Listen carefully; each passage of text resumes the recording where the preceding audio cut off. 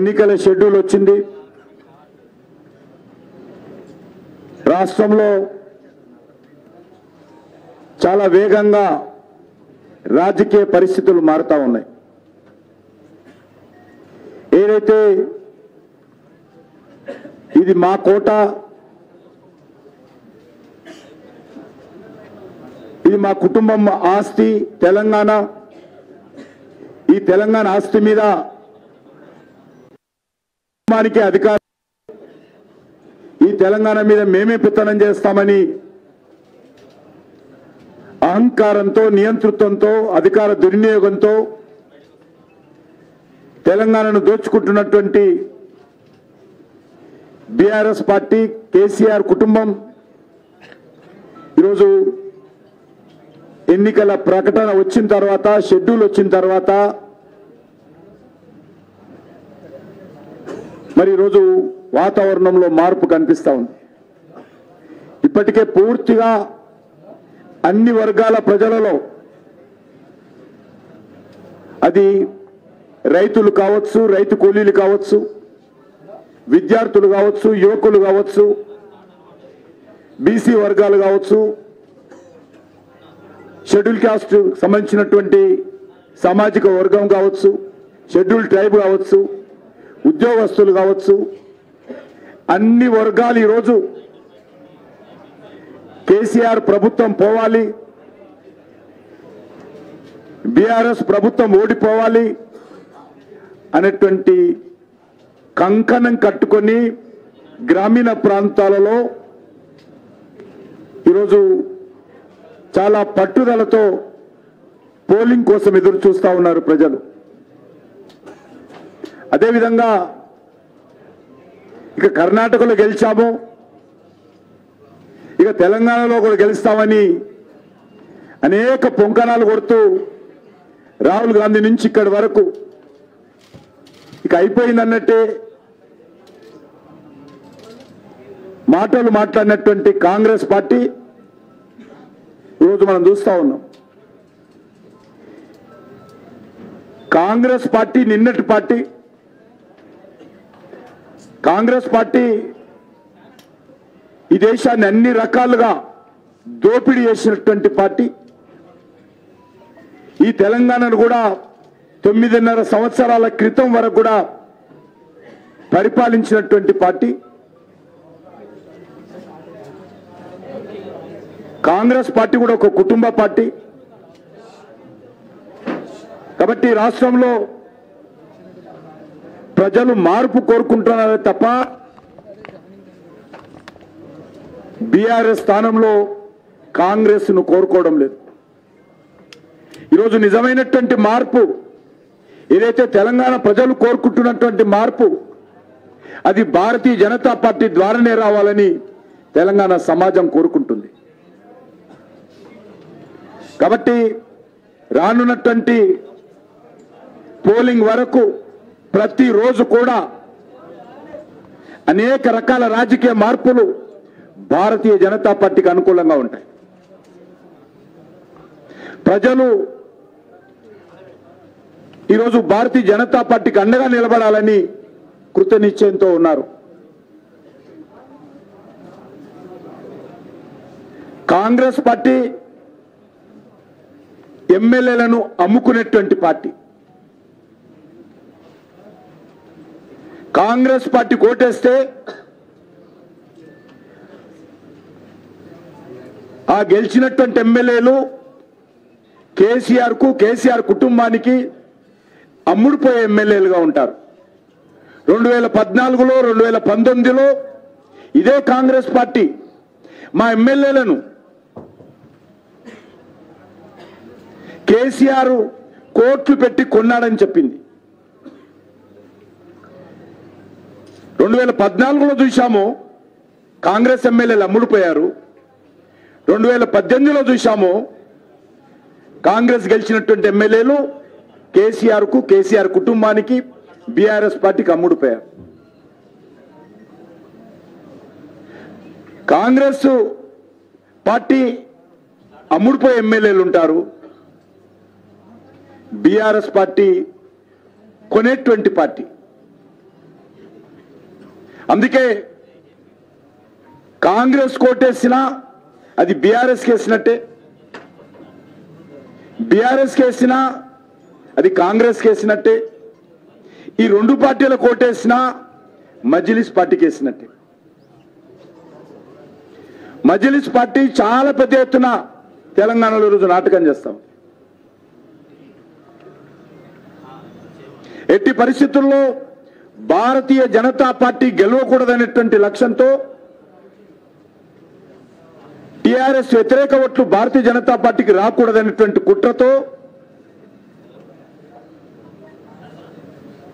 BRS Congress మధ్యన Majlis party డ్రామాలు చేస్తూ ఈరోజు టిఆర్ఎస్ వ్యతిరేక ఓట్లు చీల్చాలనేటువంటి కుట్ర చేస్తా ఉంది.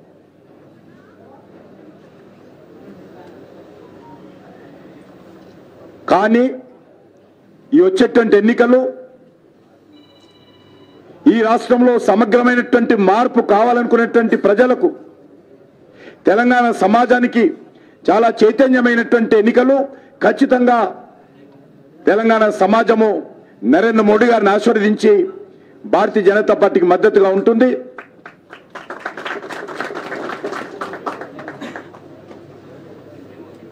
ఈరోజు ఈ రాష్ట్రం పూర్తిగా దివాలా తీసింది. మరొకసారి కేసీఆర్ బీఆర్ఎస్ అధికారంలోకి వస్తే ప్రజల చేతిలో చిప్ప తప్ప ఏముండదు.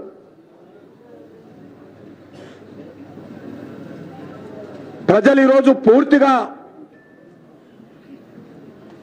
ఇబ్బందులకు గురవుతున్నటువంటి పరిస్థితి.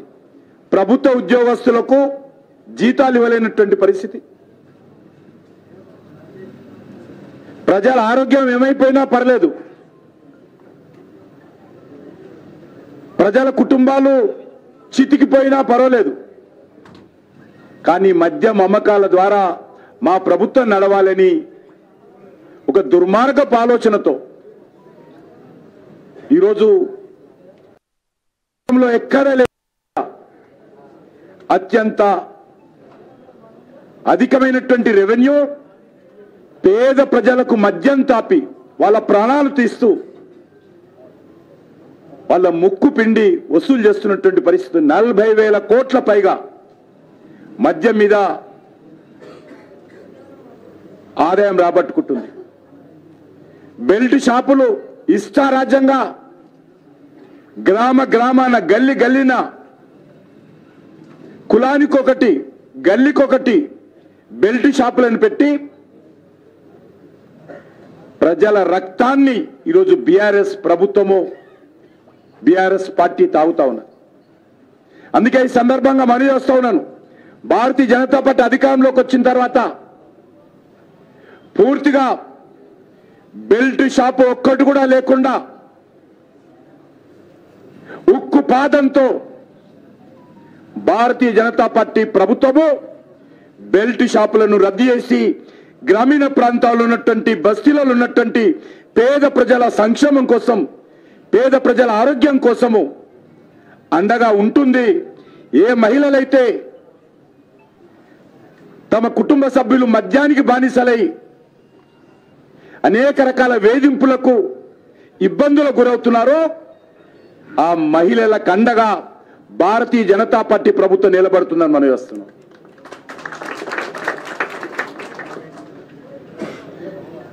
రానున్న రోజుల్లో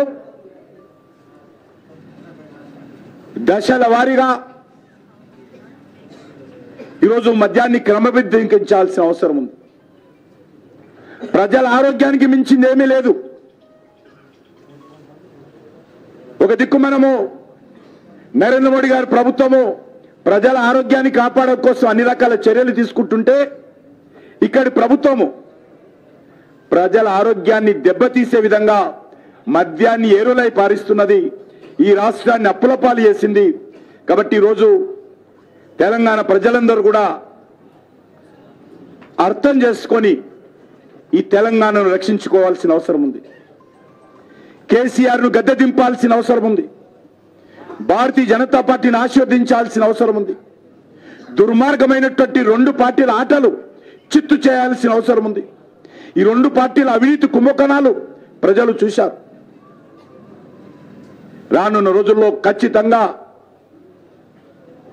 ఈ వచ్చేటువంటి ఈ నలభై ఐదు యాభై రోజులు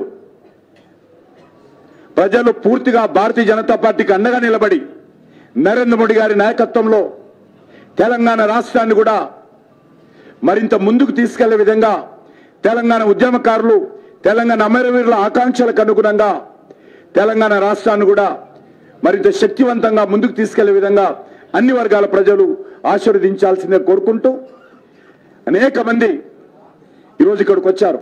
కానీ అనేక జిల్లాలలో గ్రామీణ ప్రాంతాలలో ఉన్నటువంటి యువకులు వేలాది మంది రోజు బీజేపీలో చేరుతున్నారు. గ్రామాలలో పొందినటువంటి బడుగు బలైన వర్గాల యువకులు కావచ్చు రైతులు కావచ్చు రైతు కూలీలు కావచ్చు గ్రామ పంచాయతీ వార్డు మెంబర్స్ కావచ్చు సర్పంచులు కావచ్చు మాజీ సర్పంచులు కావచ్చు పెద్ద ఎత్తున భారతీయ జనతా పార్టీలో ఎక్కడికెక్కడ చేరుతా ఉన్నారు. ఈ రానున్నటువంటి రోజుల్లో కూడా నేను ఈ సందర్భంగా అందరిని ఆహ్వానిస్తా ఉన్నాను. తెలంగాణ రాష్ట్ర భవిష్యత్తు కోసం తెలంగాణ ప్రజల భవిష్యత్తు కోసం భారతీయ జనతా పార్టీని ఆశీర్వదించండి భారతీయ జనతా పార్టీలో చేరండి ఆహ్వానిస్తా ఉన్నాను.